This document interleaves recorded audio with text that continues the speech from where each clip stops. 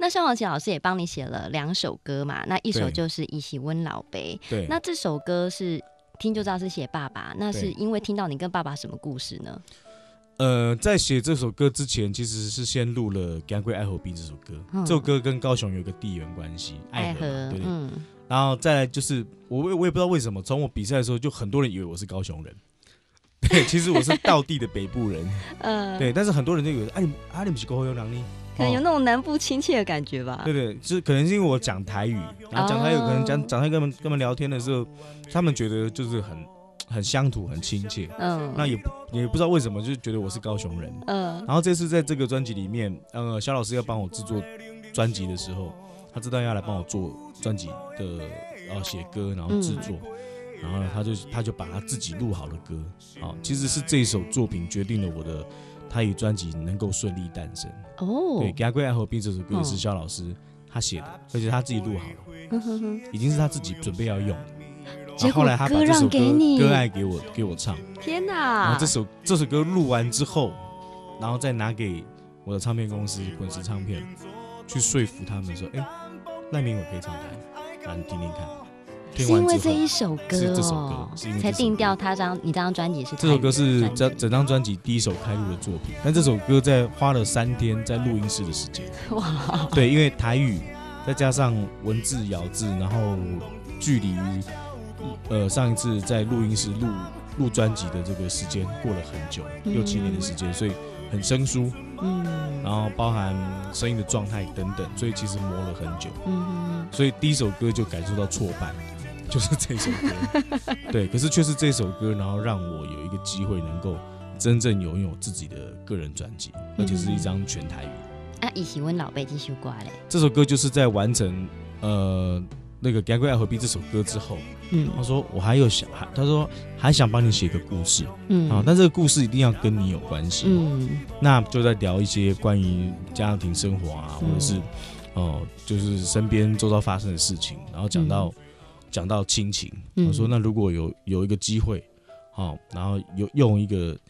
对象让你用歌来送给他，你想、嗯你会想跟谁讲话？嗯比如说那我会想要跟我的父亲讲，嗯，对，因为当时我的父亲身体状况比较比较不稳定，嗯哼然后健康状况出了一点问题。嗯我说我想要借由这个机会啦，好感谢他，因为我我接触医院其实是我爸爸影响我很多，是，对我从他从他身上开始学弹吉他，然后他嗯他教我，嗯然后开始弹入门，然后慢慢慢慢的从高中接触吉他社，然后一直到到民歌餐厅去，就这么多年来，然后就入了这一行，所以爸爸也很会，唱吗？因为我爸妈都很会唱歌。那怎么没有这首歌邀爸爸一起来唱一下，或者是爸爸帮你刷弦伴奏？对对，所以其实，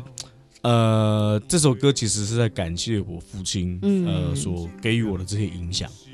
啊，让我在后面进入了我的这个表演工作，哼其实是来自他，嗯。对，然后再加上描述，因为父亲是大家共同都有的一个。哦，就是家家家庭家庭生活，大家都有爸爸妈妈。是。那每个人跟父母亲相处的方式不一样，嗯哼。那特别是写给父亲，所以呃，比如说这首歌其实是在讲我们家三代父子情，从我阿公、我爸爸到我，嗯所以我就讲了我们家的故事给夏老师听嗯。啊，然后叙述这个小孩子，然后跟这个很严厉的爸爸啊，嗯然后他们中间的父子情，然后包含到了下一代，然后这个这个小孩子后来变成爸爸，怎么教他的小孩，嗯。跟他小孩子的互动，嗯。跟他父亲之间的那个感觉，哦，那所以里面有一些歌词的刻画，其实都很细腻，就是其实就在讲我阿公啊，就是嗯。哦，扎等级挖不出门只相 A，嗯。哦啊，我阿公就是一个生活很简朴的人，可是他靠着这样子的很简单的生活，然后早每天早起去开计程车养活八个小孩，可是我爸爸就是那个很顽皮、让人很头痛的小孩。对对对，所以他就是跟他可能跟这样的小孩，可能跟他爸爸讲不到几句话，嗯。因为他爸爸只就是顾着每天出门就是要哎要要要跑车要赚钱的，嗯。所以养小孩的重责大任管教交给妈妈，所以我阿妈打打小孩打的很凶，对，但是我阿我阿公一辈子就只打过他一次，嗯。对，可是那一次他印象深刻，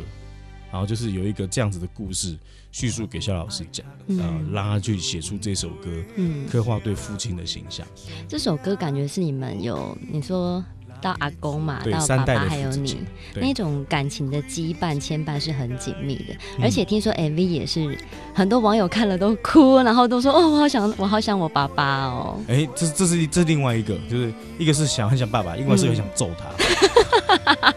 那个是你因为因为因为那个男主角啦，那个、嗯哦，我要顺便讲一下，这位男主角就张之翰嗯哦，那个很年轻的一位帅哥嗯哦，他演的真的非常非常棒。然后再加上他在这个 MV 里面，他演就是那个比较叛逆哦嗯，就稍微有一点点叛逆，然后顶撞父亲嗯哦。不过最后他还是哦，在这个爸爸呃出了状况之后，照顾他的父亲啊。我觉得这个就是以前人家台湾话讲的“拍干起呗”。